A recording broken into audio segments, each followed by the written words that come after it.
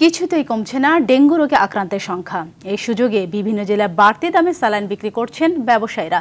এতে বিপাকে পড়তে হচ্ছে রোগী ও স্বজনদের। চব্বিশ ঘন্টায় ডেঙ্গুতে আক্রান্ত হয়ে মারা গেছে আরও তেরো জন।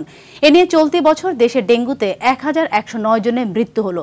মঙ্গলবার স্বাস্থ্য অধিদপ্তরের বিজ্ঞপ্তিতে এসব তথ্য জানানো হয়েছে।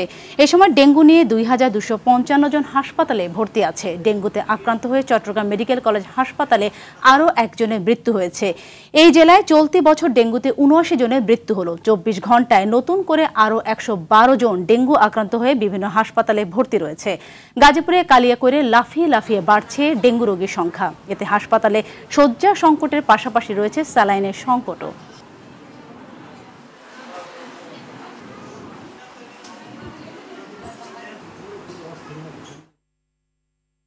দর্শক খুলনার ডেঙ্গু পরিস্থিতি সম্পর্কে জানাতে সেখান থেকে আমাদের সাথে সরাসরি যুক্ত হচ্ছেন সহকর্মী এস এম মনিরুজ্জামান। মনির খুলনার হাসপাতালগুলোতে ডেঙ্গু রোগীর চাপ কেমন দেখতে পাচ্ছেন? আর এর সাথে যুক্ত করবেন স্যালাইনের সংকটের বিষয়ে নতুন কি কি তথ্য আছে আপনার কাছে?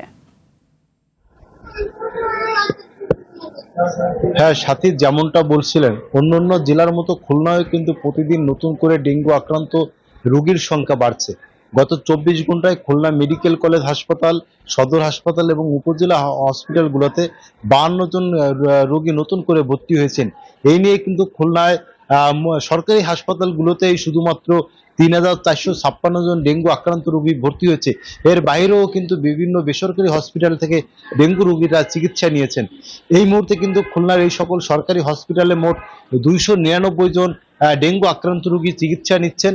এর বাহিরেও কিন্তু চিকিৎসা নিচ্ছে। যার ফলে কিন্তু বলতে পারি যে খুলনায় ডেঙ্গু আক্রান্তের সংখ্যা কোনোভাবেই কমছে না। প্রতিদিনই বাড়ছে। প্রতিদিনই পঞ্চাশ, ষাট, সত্তর জন নতুন করে ডেঙ্গু তে আক্রান্ত হচ্ছে। গেল চব্বিশ ঘন্টায় কিন্তু খুলনা মেডিকেল কলেজ হসপিটালে একজন ডেঙ্গু আক্রান্ত রোগীর মৃত্যু হয়েছে। আর আপনি যেটা বলছিলেন, সিলাইন, আপনি জানেন যে ডেঙ্গু আক্রান্ত রোগীর জন্য যে জিনিসটি বেশি প্রয়োজন সেটি হচ্ছে এনএস সিলাইন। আর এই এনএস সিলাইন কিন্তু খুলনায় যথেষ্ট ঘাটতি রয়েছে। আমি কিছুক্ষণ আগে কথা বলেছিলাম হসপিটাল কর্তৃপক্ষের সাথে। তারা কিন্তু যে দায়িত্বে রয়েছে, তিনি বলেছেন তাদের হসপিটালে ছিল কিন্তু এখন নেই, শেষ হয়ে গেছে। আমি আমি আরও এই হসপিটালে প্রবেশের পূর্বে আমি গিয়েছিলাম ফার্মেসিতে ফার্মেসির বিভিন্ন মালিকের সঙ্গে কথা বলেছি। তারা বলেছেন যে প্রায় এক সপ্তাহ পরে গতকাল প্রতিটা ফার্মেসিতে ছয় পিস করে এনে সিলাইন দিয়েছে। সেই ছয় পিস সিলাইন কিন্তু ফার্মেসিতে আসতে আসতেই কিন্তু তাদের শেষ হয়ে গেছে। এই মুহূর্তে কিন্তু কোনো ফার্মেসিতে এক পিস এনএস সিলাইন নেই। তবে তারা বলেছেন যে এই এলাকায় না থাকলেও অনেক দূরের এলাকায় কোথাও কোথাও কোনো ফার্মেসিতে একটি দুটি সিলাইন পাওয়া গেলেও সেই সিলাইনের দাম নিচ্ছে তিনশো থেকে চারশো টাকা। অনেকেই কিন্তু রুগীর স্বজনরা শহরের এই প্রান্ত থেকে ও প্রান্ত ঘুরছেন শুধু এনে সেলাইনের জন্য। সব মিলিয়ে বলতে পারি যে ডেঙ্গুর রুগীদের বাঁচানোর জন্য এনএস সেলাইনের ব্যবস্থা করবে।